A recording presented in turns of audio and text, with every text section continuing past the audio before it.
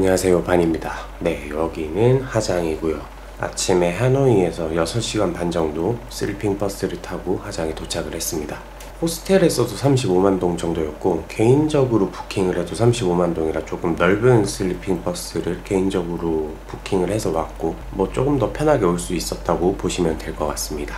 하장 오시는 분들은 거의 다 하장 loop라고 오토바이를 타고 투어를 하는 하장부터 시작해서 옌민, 뭐 동반, 롱구 아니면 메오박까지 이렇게 다녀오는 1박 2일부터 4박 5일까지 이렇게 여유를 두고 riding을 즐기는 좀 그런 느낌이더라고요.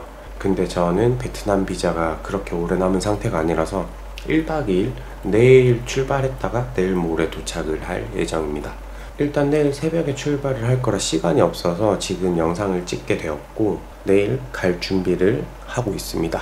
여기 보시면 뭐 힙색이라던가 아니면 뭐 상비약, rain jacket이나 그냥 씻을 것들 네 이렇게 준비를 좀 해놓고 그 다음에 가방은 여기 맡겨놓고 내일 새벽에 출발을 할 예정입니다. 여튼 내일 출발을 하고 그 다음에 뭐 viewpoint라든지 달리면서 하장 loop가 어떤 곳인지 조금 느끼면서 네 영상을 한번 찍어 보도록 하겠습니다. 그러면 내일 출발할 때 다시 영상 찍어 보도록 할게요.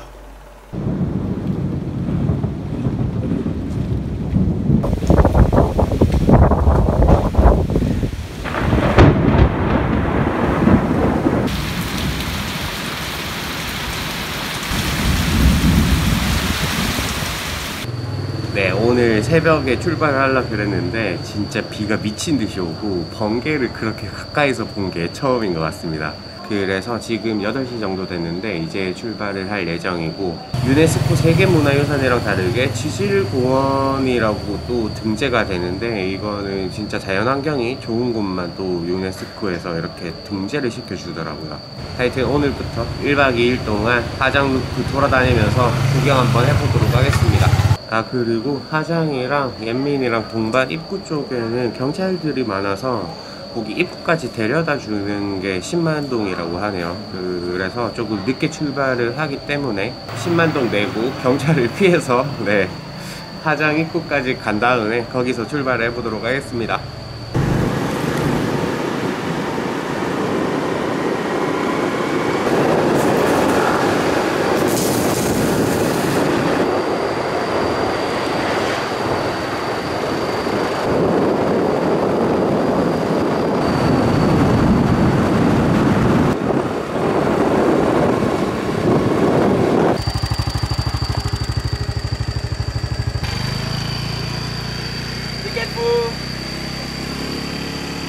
네, 여기 하장 딱 끝나는 부분에 경찰서가 있고 저기서 검문을 한다고 합니다. 뭐 10만 동이 아깝다면 아깝다고 할 수 있겠지만 그래도 뭐 무사하게 건너왔다 이렇게 생각을 하면 좀 편하지 않을까 싶네요. 그러면 이제 하장 loop 네 한번 가보도록 하겠습니다. 혼자 가면서 뭐 viewpoint나 볼만한 거 있을 때 서가지고 또 영상 찍고 그러도록 할게요.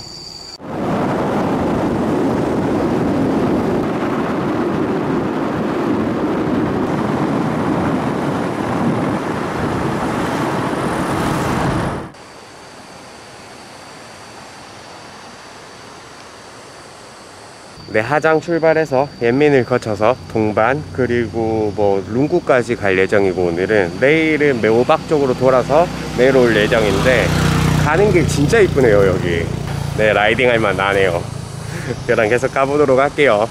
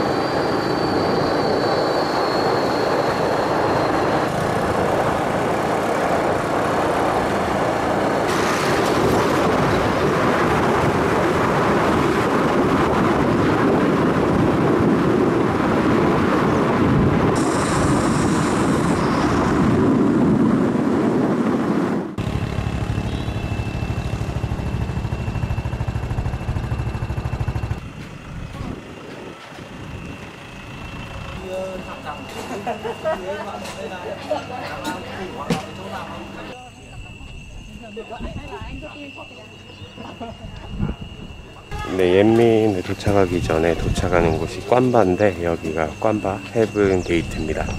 저 위에 Heaven Gate viewpoint까지는 100m인가 110m 올라가면 된다고 적혀 있긴 하나? 네 여기 view가 좋아가지고 굳이 올라가진 않겠습니다. 덥기도 하고 힘들기도 하고. 네, 여기 뒤에 카페가 있는데 앉아가지고 커피 한 잔 하고 다시 출발해 보도록 할게요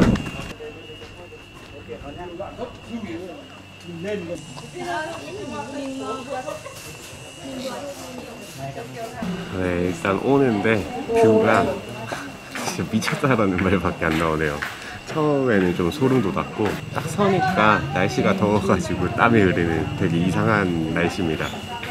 네, 달리면 좀 시원하고 서면 덥고 네, 베트남이라서 어쩔 수가 없네요. 어제 저녁에 비가 그렇게 쏟아졌는데 지금 날이 이렇게 더운 것도 좀 신기하고 어, 어제 비가 와서 그런지 더 깨끗해 보입니다. 네, 그러면 커피 한 잔 하고 출발해 보도록 할게요.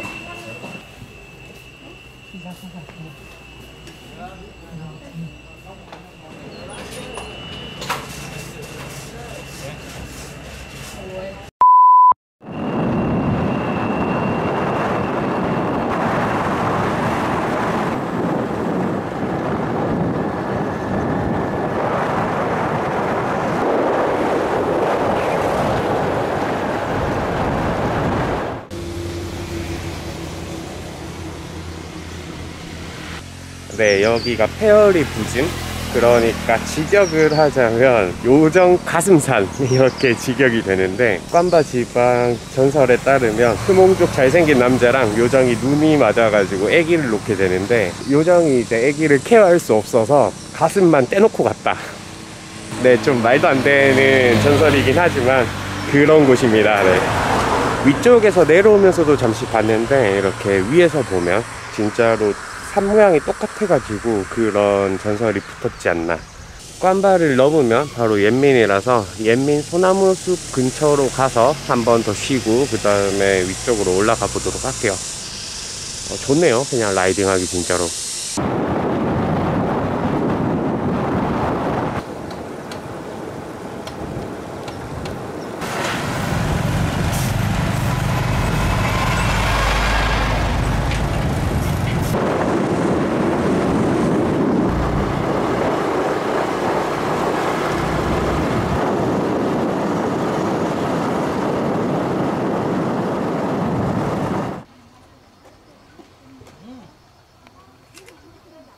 옌민으로 가는 길이 두 가지고 왼쪽 길로 들어가지고 돌아가면 옌민 forest가 나오고 위쪽 길 산길로 타면 여기 이런 나무가 나옵니다. 근데 이쪽이 더 가까워서 네 이쪽으로 왔고 나무 진짜 멋있네요 여기도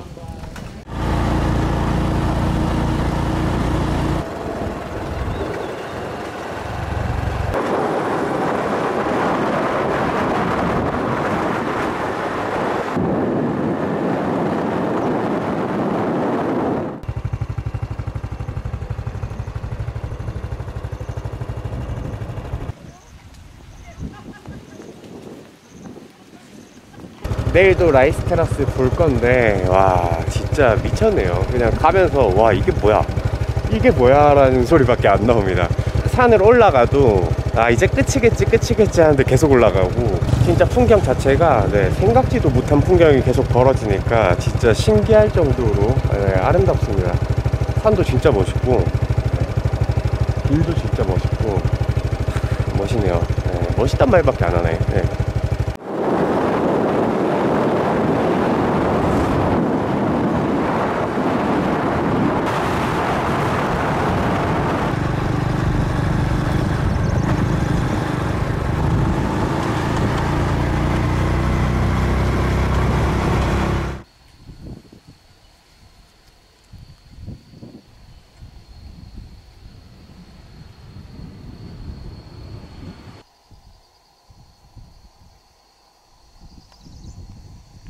여기가 반차이 stone book이라는 곳이고 stone book이라고 불리는 이유가 저 산 때문이라고 합니다. 여기 지형 자체가 진짜 옛날에는 바다였다고 하네요. 그래서 바다에서 볼 수 있는 돌이라던가 아니면 뭐 화석 이런 것들이 여기서 발견된다고 합니다. 그냥 view 끝장입니다. 끝장. 네. 동반까지도 40km 정도밖에 안 남았는데 동반까지 가서 밥을 대충 먹고 룽꾸로 올라가서 베트남 최북단에 있는 flag를 한번 보도록 하겠습니다. 오늘은 flag 보고 들어가서 자고 내일 매오박 쪽으로 내려갔다가 하장으로 돌아가는 그런 루트로 저는 계획을 해서 왔기 때문에 네, 계획대로 실행해 보도록 하겠습니다. 가면서 뭐 또 viewpoint 되게 괜찮은 곳 있으니까 거기 가서 다시 영상 찍어 보도록 할게요.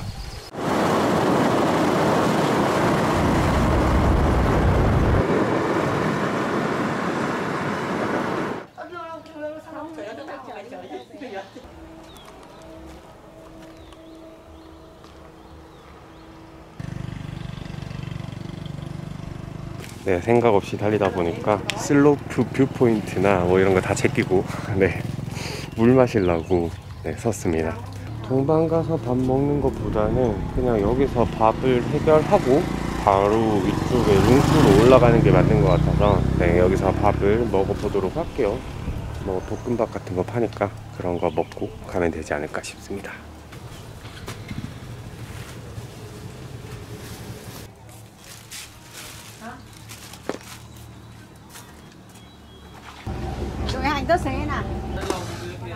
밥 먹고 갑시다. 그냥 볶음밥 손으로 가리키면서 달라 그랬는데 좀 한식이랑 비슷하게 나오네요. 얼마인지를 안 물어보고 싶어서 한 3, 4만 동 하지 않을까?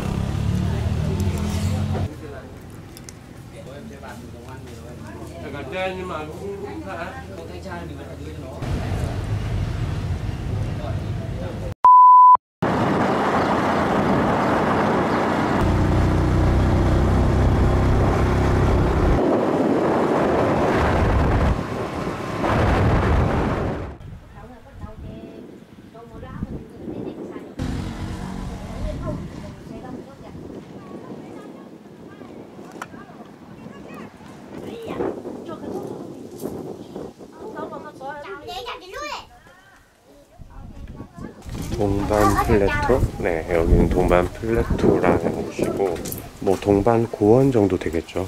근데 돌산이고 실제로 여기 사시는 분들이 뭐 고여있는 물이라던가 흐르는 물로 빨래를 하는 모습을 볼 수 있습니다. 돌산도 진짜 멋있네요, 여기는.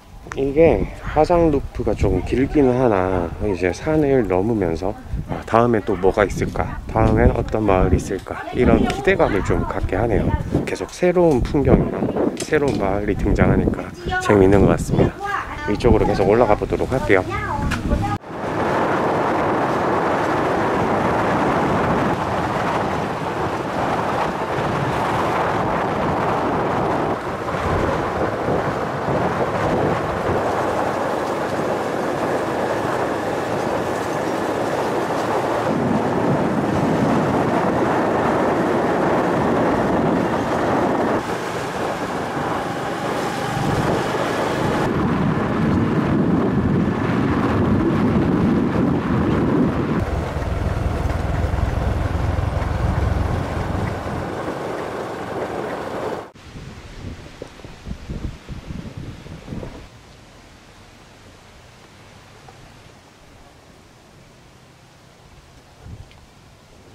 물 하나 먹으려고. 네 잠시 섰습니다. 조금 쉬어갈 겸. 네.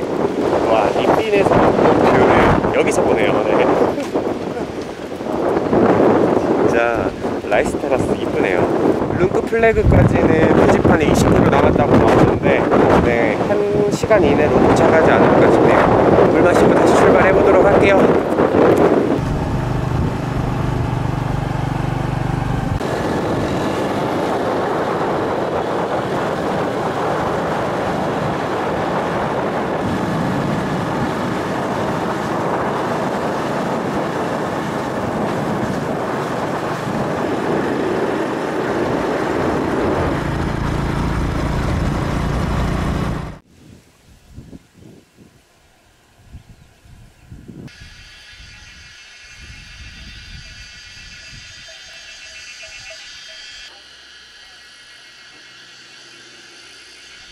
네, 돌아다니면서 와 진짜 여기 풍경 멋있다 하는 곳이 너무 많아가지고 영상으로 다 담기도 힘드네요. 이거는 한번 와서 진짜로 느껴보셔야지만 알 것 같고 어떤 느낌이냐면 자 이거 멋있지? 여기 풍경 멋있지? 이렇게 물어보는 것 같은 느낌? 근데 또 산에 지나면 자 이건 또 어때? 이런 느낌입니다. 진짜 멋있네요. 아.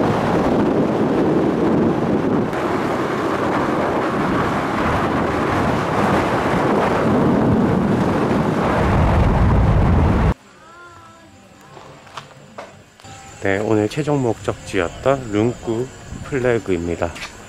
베트남 국기 플래그 최북단에 있는 거라고 생각을 하시면 되고 또 위쪽에 중국이랑 인접한 곳이 최북단이라고 할 수 있는데 깃발을 조금 밑에 위치한 룬꾸에다가 이렇게 설치를 했더라고요.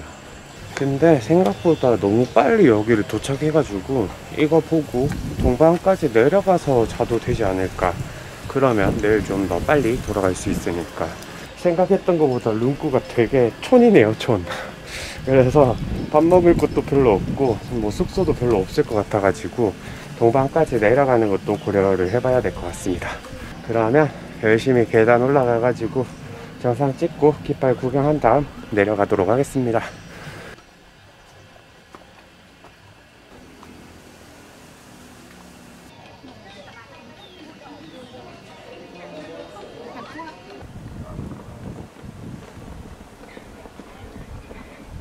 와 아래쪽에 대놓고 계단 올라오고 하라는데 여기 길이 있네요. 진짜. 계단 한 200개는 올라온 것 같은데. 이쪽에 계단 있는 거는 그러면 안 올라가겠습니다. 네.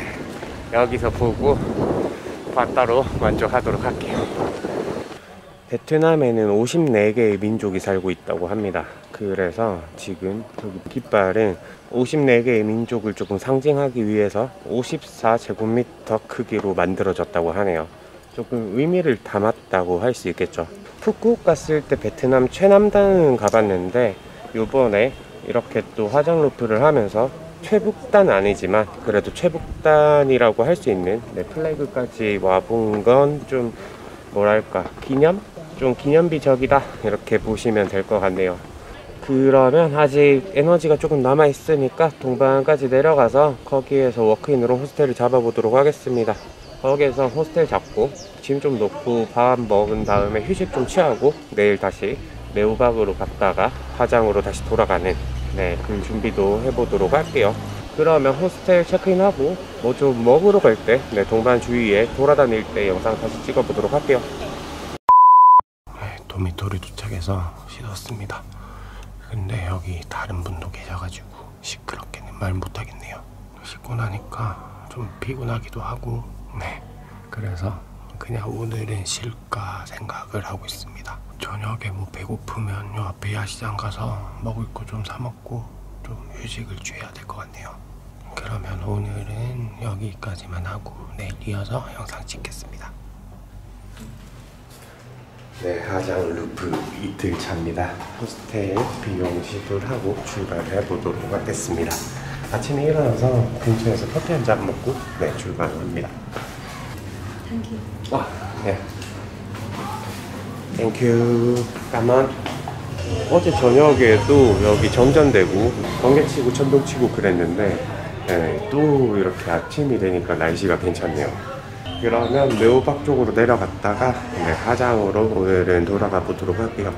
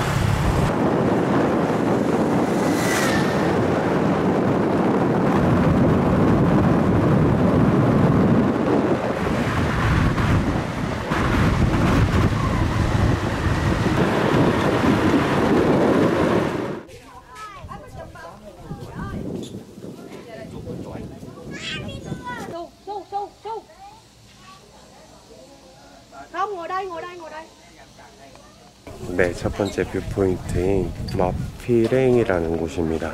동반에서 매오박으로 가는 길이 진짜 멋있네요. 네, 제가 스위스는 안 가봤으나 스위스를 가면 이런 느낌이 아닐까 싶은 네, 산이 진짜 멋있습니다. 길도 막 산 따라 이렇게 쫙 되어 있는데 여기에서 네, 매오박 가는 길도 그렇습니다. 진짜로 잘 돼 있고 멋있네요. 저기 아래쪽에서는 보트 투어도 할 수 있는 걸로 알고 있는데 목표가 하정 루프를 타는 거기 때문에 보트 투어는 하질 않겠습니다. 네.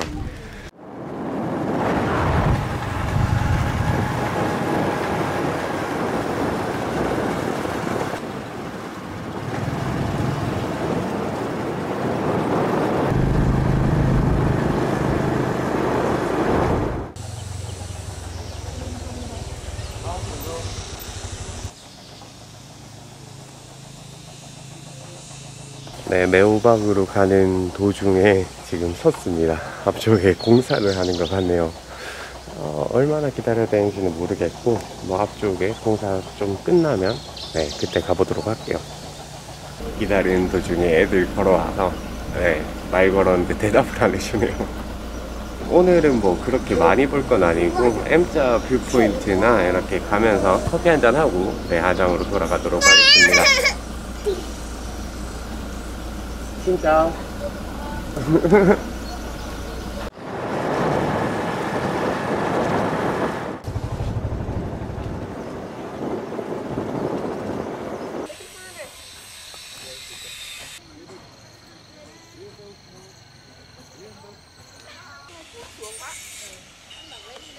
Ngồi lên thẳng lưng lên. 네, 여기가 매호박에 있는 몽족 마을인데 커피나 한잔 할까 싶어서 들어왔긴 한데 커피를 파는 곳이 없네요.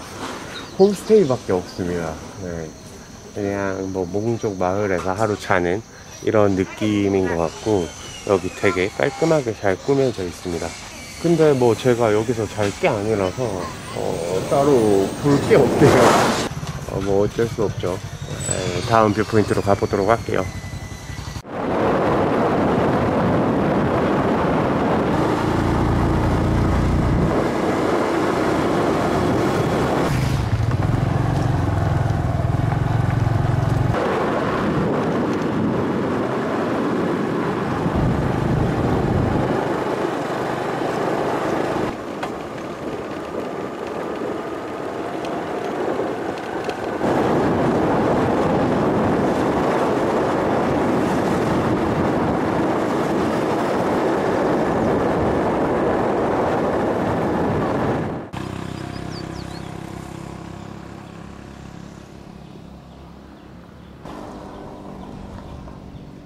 길이 하도 쓰레기라 영상 찍을 시간도 없었습니다.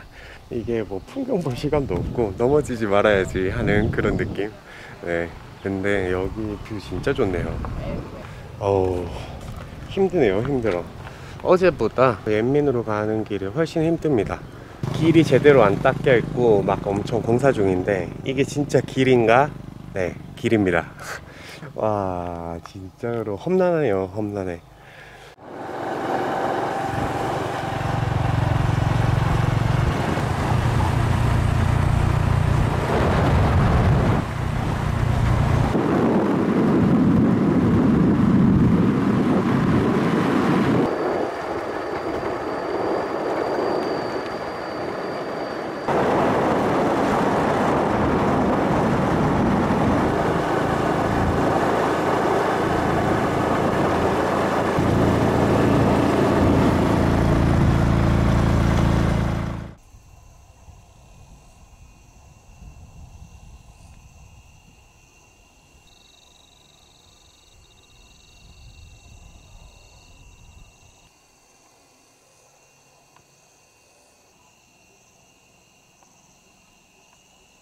네, 여기가 옌민 rice terrace 있는 곳이고 여기는 거의 꼭대기 다 올라와서 제가 보고 있는데 일단 높은 곳이라서 네, 경치는 진짜 죽인다고 보시면 됩니다. 하장 루프를 돌면서 계속 산을 타게 되는데 그래서 뭐 기본적으로 해발 막 1500m 이렇게 되니까 구름도 진짜 가까이 있는 것 같고 멀리 산까지 보이는 거가 진짜 멋있습니다. 네. M자 슬로프는 생각보다 너무 별로라서 네 그냥 달리면서 잠시 찍었고 오늘 계획으로는 네 여기 라이스 테라스가 마지막이었습니다. 그러면 하장까지 한 100km 정도 남았는데 영상 안 찍고 하장 돌아가 가지고 네 마무리 영상 찍도록 할게요. 그냥 가면서 커피도 한 잔 마시고 좀 여유 가지면서 네 하장으로 돌아가 보도록 하겠습니다.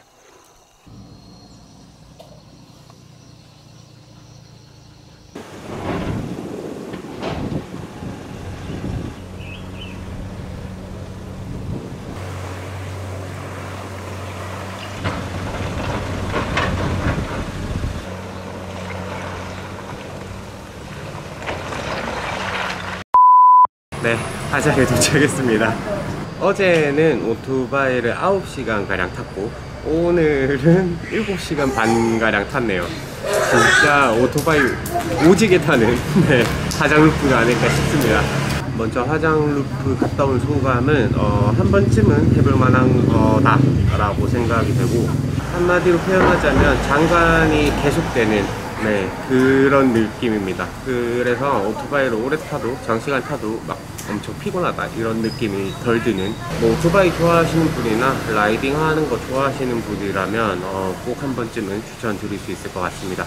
개인적으로 생각을 했을 때 제일 중요한 거는 선글라스 같은 것보다 보안경 같은 게 더 중요하다고 보입니다. full face 헬멧이나 half face 헬멧은 상관없지만 무조건 앞에 가림막이 있는 저도 일부러 가림막이 있는 모자를 들고 갔는데 이게 진짜로 도움이 많이 됐던 것 같습니다. 그리고 마스크도 필수가 아닐까 싶네요. 어제 동반까지 가는 루트는 그냥 풍경을 즐길 수 있었다면 오늘 메오박에서 넘어오는 루트는 진짜 뭐랄까 오프로드를 네 110cc 오토바이로 달리듯 뭐 곳곳에 생각보다 되게 많은 공안들이 있고 잡혀보질 않아서 어떻게 되는지 모르겠지만 네 간혹 가다가 잡힌 사람도 보이긴 하더라고요. 하장 루프 오셔가지고 한 바퀴 도실 분들이라면 진짜로 조심해서 타고 가시는 게 맞지 않나 싶습니다. 오토바이 운전에 자신이 없으시다면 하루에 80만 동 내고 easy driver 신청해서 갔다 오시는 것도 괜찮을 것 같네요. 제가 기름값으로 한 20만 동 가까이 썼으니까 밥값이랑 이것저것 더하면 비슷하진 않아도 그래도 막 엄청 차이가 나진 않는다라고 생각이 됩니다. 뭐 위험한 것보다는 나으니까요. 그럼 이번 영상은 여기에서 마치고 네 저도 빨리 씻고 내일 사파로 떠날 준비를 해보도록 하겠습니다. 다음 영상은 사파에서 뵙겠습니다. 이번 영상은 여기까지 할게요. 안녕. 끝.